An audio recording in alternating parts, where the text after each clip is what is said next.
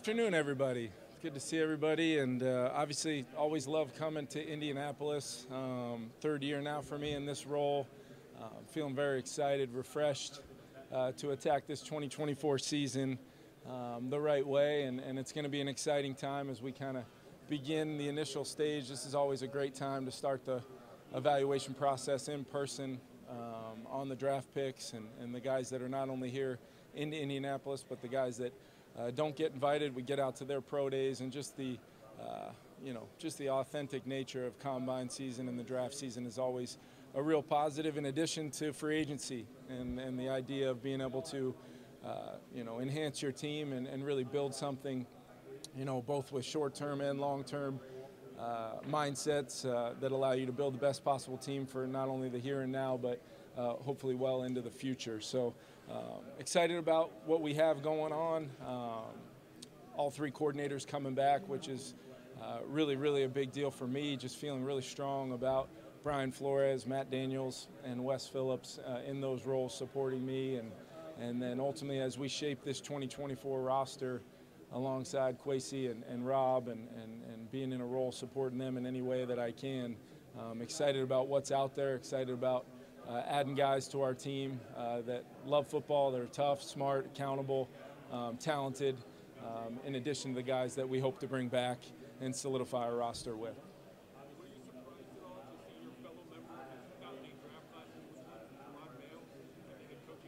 No, no, I wasn't. And in fact, uh, I don't know. Uh, and, and, now that uh, now that he's officially retired, I think we can start the head coach watch for Matthew Slater now as well. Um, but uh, I've, I've always told those guys uh, my hope was to race them into coaching and get out in front of them as far as I could because just like they did much superior to me as players, they're probably going to do the same in this capacity as well. Those guys are unbelievable, but I think the world of Jerod um, always have. Um, tried to, you know, possibly work with him multiple times over, you know, my coaching journey just because of the leader he is, what he meant to me as a teammate during that short time um, I know he'll do a great job there.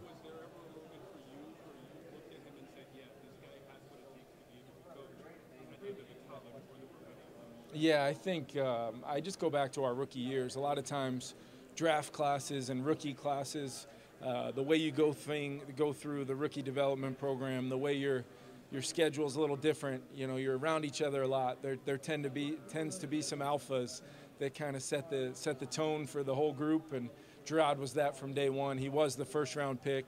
Uh, didn't take long to see why, from a standpoint of his impact on the field, uh, what a career he had. But I think it's the impact he left, you know, in the in the walls and in the halls of that that building there in New England and Foxborough, um, that probably made it an, an easy decision. Anytime, um, you know, maybe the greatest coach in the history of, of football is, is is moving on.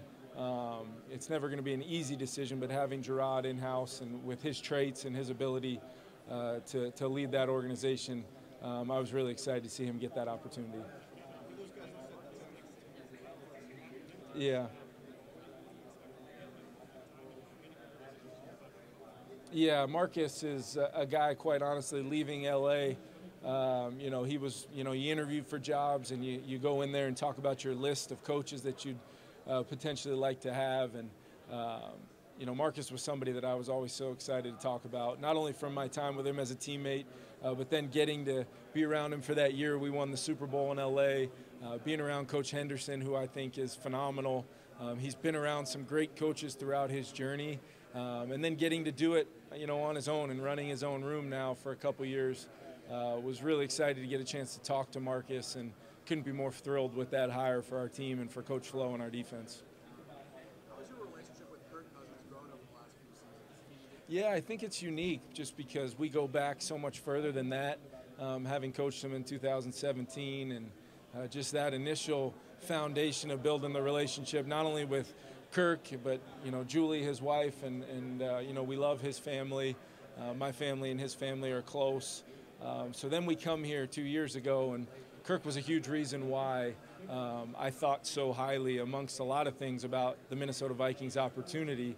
Um, because of my belief in him, uh, we've won a lot of games over these two years with, with Kirk as our quarterback, and I thought he was playing as well as anybody in the National Football League when he got hurt at, at uh, after beating the Packers at Lambeau uh, last year. You know, coming off a Monday night win over the team that represented the NFC in the Super Bowl, and, and to have that happen was, uh, you know, it was a big deal for me personally, and, and, and much beyond just my role of coaching the team. Um, but it's been awesome to see him through his rehab and where he's at now, really get right back up on his feet and attack this thing. But uh, my feelings on Kirk Cousins, uh, you know, are, they really have not wavered in two years, and if anything, they're they're stronger now, uh, having gone through uh, a, a, lot of adversity together. But uh, you know, we've had a lot of success as well.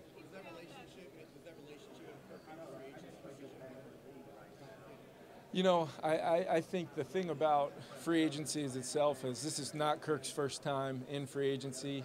Uh, Kirk Cousins knows how I feel about him. Uh, I've held no secrets there.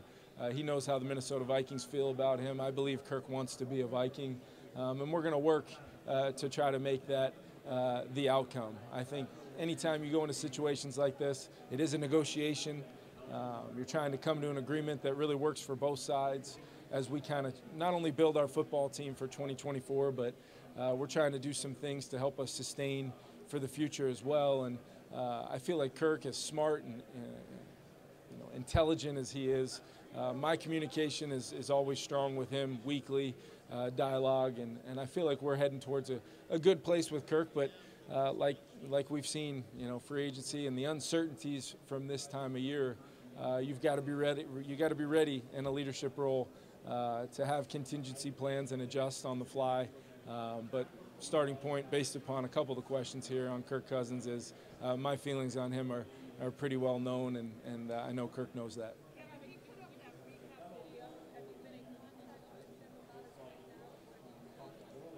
Yeah, you know, uh, I was, uh, you know, I've been in contact with him pretty much weekly uh, since the off season uh, really began. Um, he's doing some of his rehab with our folks in house. He's also doing some rehab away from our facility as well. Um, I know every you know every check-in that I get, both either from the medical side or from Kirk himself, uh, is always uh, pretty pretty shocking as far as how far along he is already. Uh, I know he you know works extensively daily on you know all the different aspects I don't want to go into and expose myself from a medical standpoint of uh, my understanding of what he's already accomplished or what is out in front of him. Uh, but uh, I was not surprised to see that video uh, based upon my dialogue with him and where I see him going here in the near term future as far as uh, the next phases of getting him back to, uh, to 100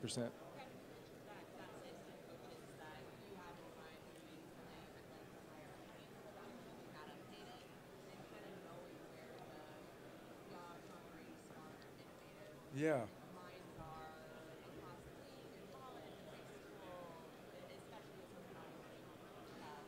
Yeah, I think it's something you always have to be updating, and, and a lot of time the, the we have a saying in coaching, you know, your tape is your resume. So you, you might come across uh, some crossover tape throughout the season and see some really cool ideas, or see a quarterback playing with great technique and fundamentals, or a D lineman with great get off, a, a, you know, a DB on the back end showing some you know, beyond just the traits type of ability. Hey, that guy was coached. That guy was, you know, he knew exactly what was coming and reacted and made a play. Um, and you just take notes of that. And then uh, this week and, and some of the, the different events throughout the NFL calendar, you get a chance to build relationships with people.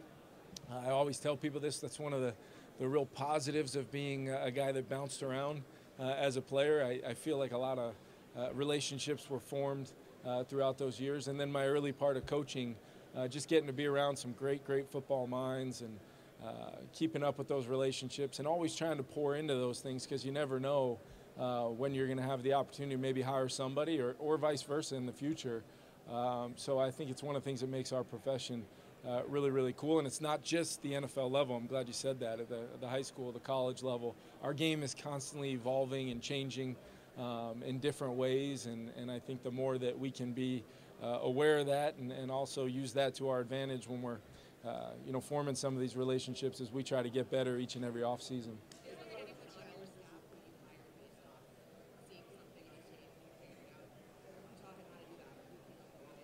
I think there's uh, one person in particular that's been well documented. He happens to be our defensive coordinator.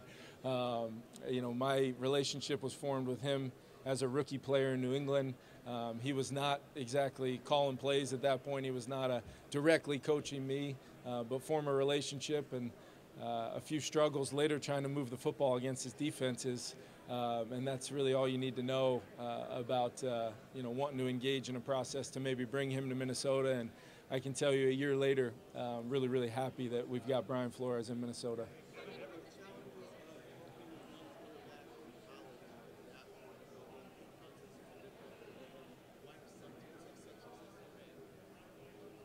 Yeah, I think uh, it, it is a it is a real thing. You know, you turn on the tape and uh, you know you're seeing certain successful offenses, explosive offenses, teams that are putting up a ton of points, uh, but you're trying to figure out if this play right here, this third down play, does this translate to what we're going to ask him uh, to do in our offense, or other teams are asking themselves the same questions right now. And I think what you try to do is find the traits first and then go back and apply those traits to them doing certain things that maybe they don't even know they're doing um, at the time. Maybe you ask about them, ask it about uh, here in Indianapolis. Maybe you, you know, it's throughout the rest of this process. But you're just trying to piece together, um, you know, the best possible profile you can uh, on the player, and you're doing that for their benefit. So when you do bring them into your building, you know exactly how they learn. You know exactly the best way to teach them your offense, to give them reps walkthrough reps, time on task. Uh, so by the time it becomes competitive for them, every day is a growth moment. Every day is a growth moment, positive. Uh, there's negatives. There's days where you can choose to attack the quarterback position a certain kind of way, and we're trying to find guys that like to do that uh, to really be, and not only in our quarterback room, but our entire organization. It's about guys that love football. It's a guy, are they tough? Are they smart? Are they accountable? And does the game make sense to them? That we can then apply our teaching and what we want to do to build an offense around that player uh, each and every day that we get them.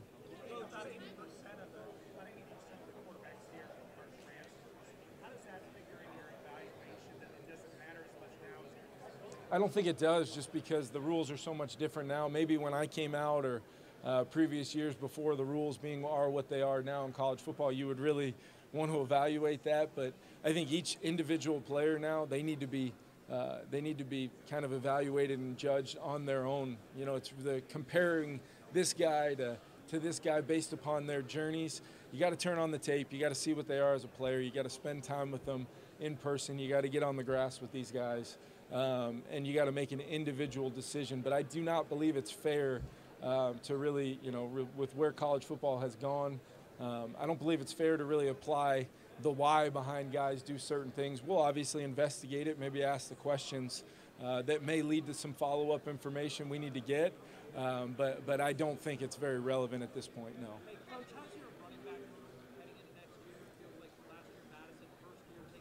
Yeah.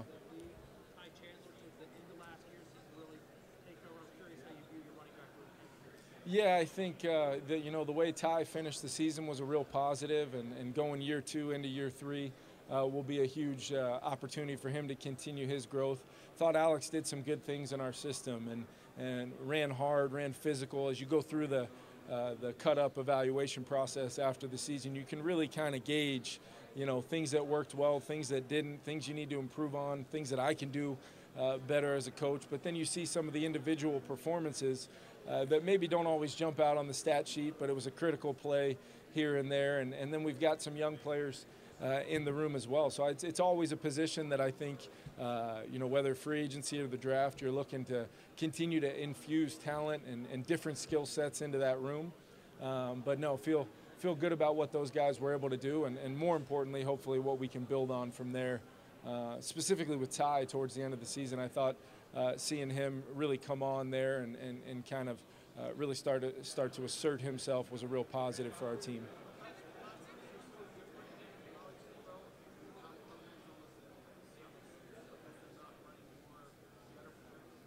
No, I don't think you can look at it like that. I just think, uh, you know, all of us, our jobs as coaches are uh, to do the things schematically that we think give our teams the best chance to win. And clearly, with the with the success that they're having at that level, um, the ability to, to move the football at a high, high rate, score a lot of points, um, be incredibly explosive, uh, they're, they're doing it the way they should do it. And there's no one way. You really turn on the tape and you see different different things by different offenses around college football, but I think the biggest thing is understanding how do you project the physical and the mental makeup uh, of a uh, of a quarterback into your offense, and and then ultimately understanding at the quarterback position, it maybe is a, the greatest example of you've got to your offense needs to be what your players do well, and that can evolve and change, player development, growth, all those things lead you to a place as a coach where you better be able to adapt. You, be, you better be able to grow uh, and, and really not be stuck in your ways in any particular form or fashion, but always applying the principles that you believe in for core offensive football. And, and I think that's what's important. Uh, that helps you coach it, teach it, give these guys the why. Um, and if they've got the right makeup and the, the right kind of player that you're looking to add into your building, um, they'll take it and run, run with it from there.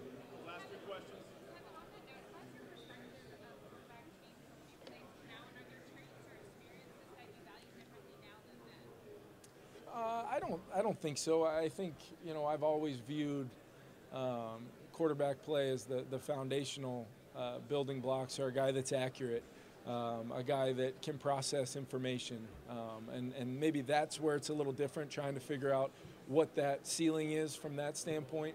Um, but a naturally accurate guy, you know, could walk in here right now and, and throw the football anywhere they want in this room, and and and it just makes sense to them when they pick up that football and. Uh, and then you talk about smart, tough, accountable, like the leadership traits. Um, there's so much that goes into it. Um, I think there's a lot of great examples uh, of guys coming into our league with some of those foundational points and then adding the rest of them to their skill set to become the complete player that they are. So uh, I think it's unique. I think we're always going to want to try to create what is the you know what's the stencil what's the you know what is what does that look like so it becomes easier to evaluate I, th- I know that's one of the reasons why I love evaluating the quarterback position because it is it's unique and it's dynamic and it's your own way of really looking at it because you've got to be the one to bring them in, believe in them, you know, uplift them, empower them every day, and coach them to reach their ceiling and their potential because it really is. We're in it with them from day one, and that's how you got to look at it.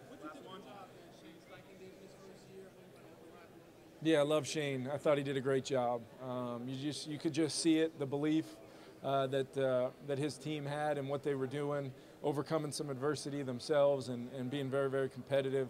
Uh, I've always thought the world of Shane.